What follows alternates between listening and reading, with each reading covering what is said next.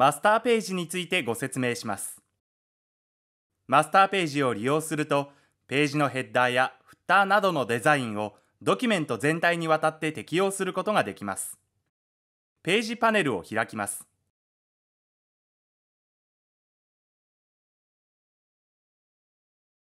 ページパネルの上部に A マスターというアイコンが表示されています。この領域に表示されているアイコンがマスターのアイコンです。新規ドキュメントを作成すると A マスターというマスターが作成されます。この時の A のことをプレフィックスと言います。ページパネル上でマスターを識別するための文字となります。このプレフィックスは4文字まで登録することができます。マスターのアイコンをダブルクリックします。マスターの編集画面になります。ここにノンブルやオブジェクトを配置していくことによってページに統一的なデザインやフォーマットを適用するのです。通常のドキュメントページに戻すには、ページパネルでドキュメントページのページアイコンをダブルクリックします。マスターの画面からドキュメントページの画面に切り替わりました。このようにページパネルを利用してドキュメントページとマスターページの切り替えを行います。マスターの名前を変更しましょう。ページパネルで A マスターを選択します。右クリックでメニューを開きます。マスターページ設定 A マスターを選びます。マスターページ設定ダイアログが開きました。名前を変更します。ここではハワイ情報ページのマスターを作成しようと思いますので、ハワイと入力します。基準マスターはなし。ページ数は2のままとします。OK をクリックします。マスターの名前が設定されました。では A ハワイマスターページを編集してみましょう。マスターの右側のページをダブルクリックします。マスターページが開きました。ページパネルは閉じます。まずはマスターページ上にガイドを配置して、きれいにオブジェクトが整うように準備をしましょう。マスターページにはノンブルや柱をつけます。それらの位置がきちんと整うように定規ガイドを配置しておきましょう。画面を操作しやすい大きさに拡大します。画面上部の水平定規にマウスカーソルを合わせ余白部分までドラッグします。するとこのようにガイドが表示されました。ツールチップの値を見ながら 12mm の位置にガイドを配置します。シフトキーを押しながらドラッグすると定規のメモリに合わせてガイドを正確に配置することができます。ページ下部にもガイドを作成しましょう。水平定規にマウスカーソルを合わせドラッグを開始します。ペーストボードの方にドラッグすると左右の両方のページにまたがるスプレッドガイドを作成することができます。ここでは 290mm の位置にガイドを配置します。ここでもシフトキーを押しながらドラッグして定規のメモリに合わせてガイドを正確に配置します。続けて垂直のガイドも作成しておきましょう。左側のページを表示します。垂直定規からドラッグを開始し、X の値が 8mm になるようにドラッグします。右側のページを表示します。垂直定規からドラッグを開始し、X の値が 412mm になるようにドラッグします。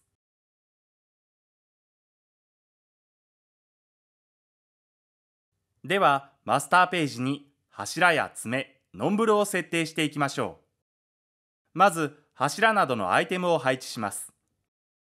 右のページの上部のガイドに沿って線を引きます。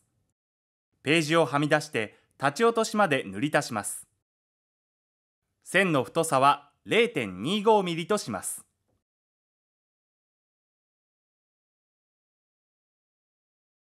線のカラーはこちらのカラーを選択します。では柱を配置します。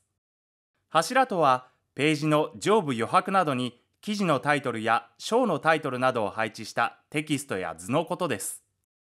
これにより読者が目的のページを直感的に見つけることができます。さらに画面を拡大して作業を行いやすくします。横組文字ツールに持ち替えます。ドラッグしてテキストフレームを作成します。文字の書式設定を行います。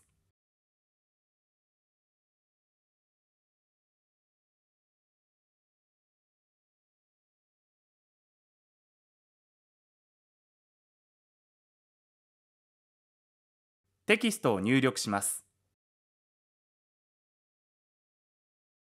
カタカナのハワイを選択し、フォントサイズを変更します。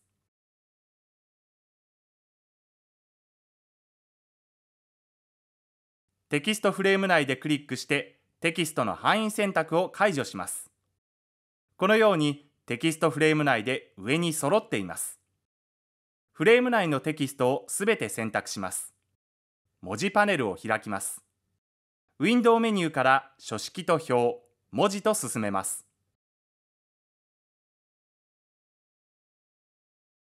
文字パネルのパネルメニューを開き、文字揃えからオーブンベースラインを選択します。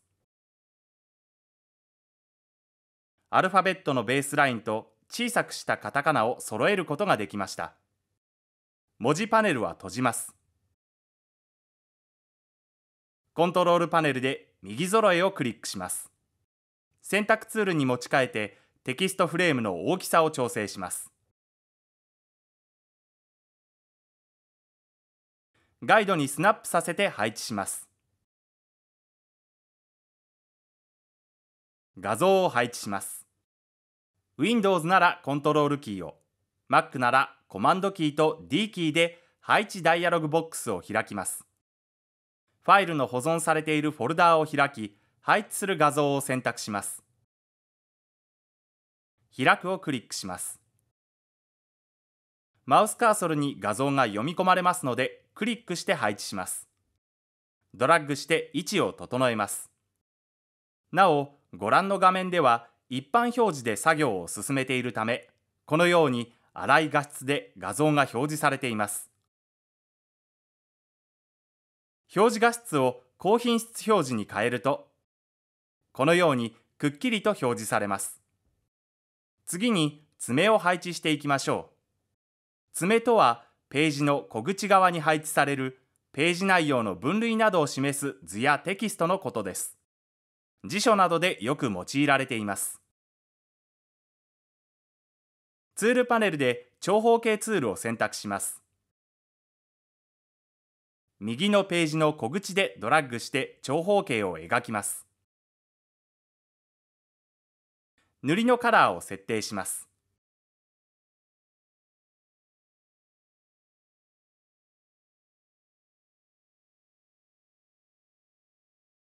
線はなしにします。サイズを正確に指定しましょう。コントロールパネルで幅の値に 11mm と指定します。高さを 30mm と指定します。選択ツールに持ち替え配置を整えます。右側が立ち落としガイドにスナップする位置に配置します。ツールパネルで縦組文字ツールを選択します。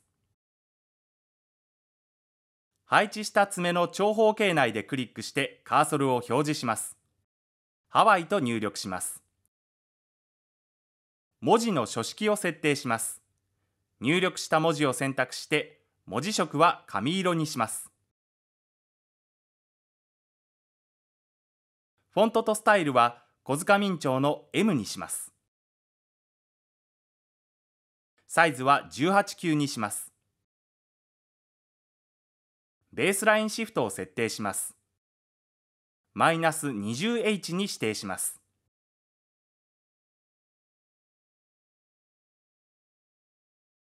選択ツールに持ち替えます。作成した爪を複製します。Windows なら Alt キーを、Mac ならオプションキーを押しながらドラッグすると複製できます。Shift キーを押すと方向を固定することができます。同様の操作を2回繰り返します。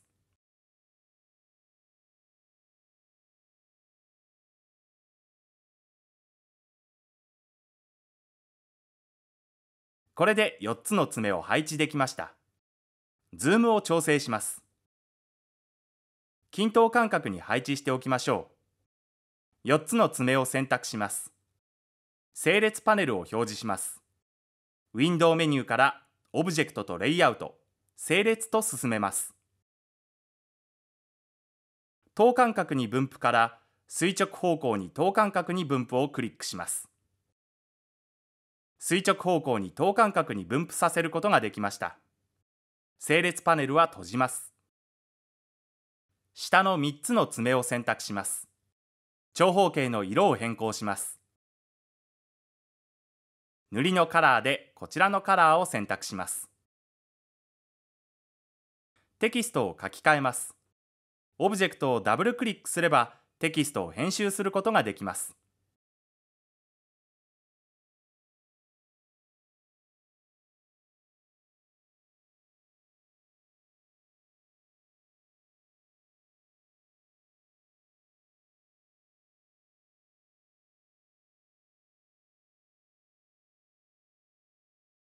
できました。これで柱と爪を作成することができました。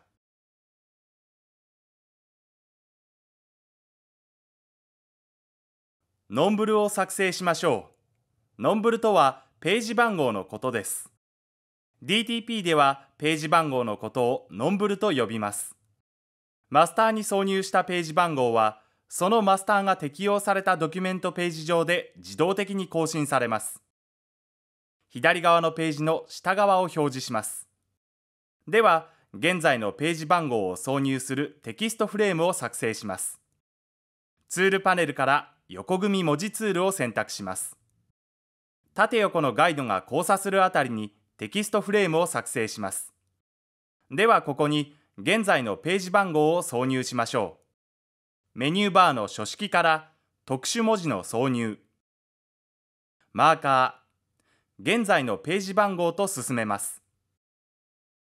すると、マスターにノンブルが追加されました。ページ番号を示す記号として、マスターのプレフィックスである A が表示されています。また、挿入されたページ番号は、他の文字と同じように、フォントの種類やサイズなどを変更することもできます。フォントとスタイルは小塚明朝の M に設定します。サイズは16級にします。塗りのカラーは黒にします。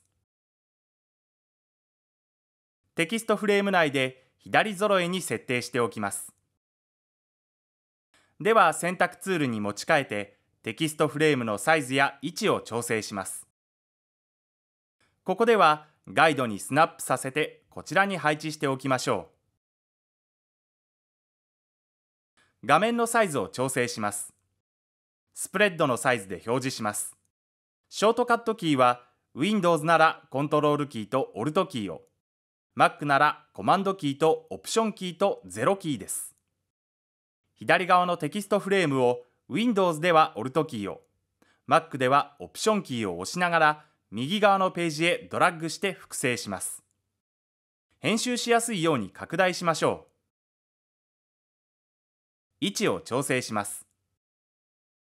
ノンブルをダブルクリックします。コントロールパネルで右揃えに設定します。これでノンブルは完成です。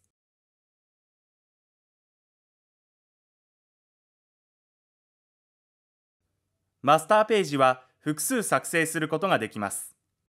この例ではハワイツアーのキャンペーンのパンフレットとしてハワイのページ、マウイのページ、オアフのページ、カウアイのページと4パターンのマスターを作成しておくとページの作成がスムーズに進むでしょう。ここでは例として作成済みのマスターを複製し、マウイのマスターページを作成する手順をご説明します。ページパネルを開きます。このように A ハワイマスターページが作成されていることがわかります。では A ハワイマスターページが選択されていることを確認し、パネルメニューを開きます。マスタースプレッド A ハワイの複製を選択します。B マスターが作成されました。そして現在開いているのも B マスターページになります。再びパネルメニューを開き、マスターページ設定 B マスターを選択します。名前をマウイに変更します。他は変更せず OK をクリックします。では、マウイのマスターページを編集しましょう。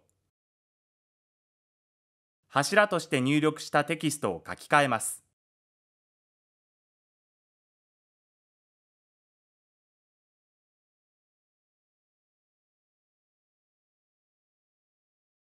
爪の色を変更します。ハワイの塗りのカラーを薄いグレーに変更し、マウイの塗りのカラーをシアンに変更します。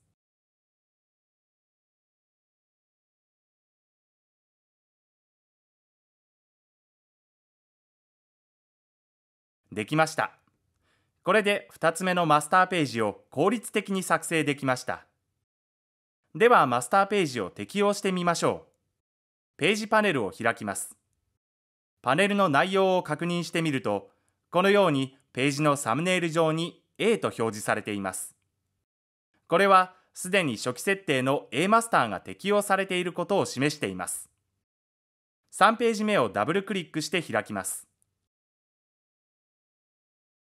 このように柱のテキストやグラフィックス、爪、ページ番号がマスターページによって適用されていることがわかります。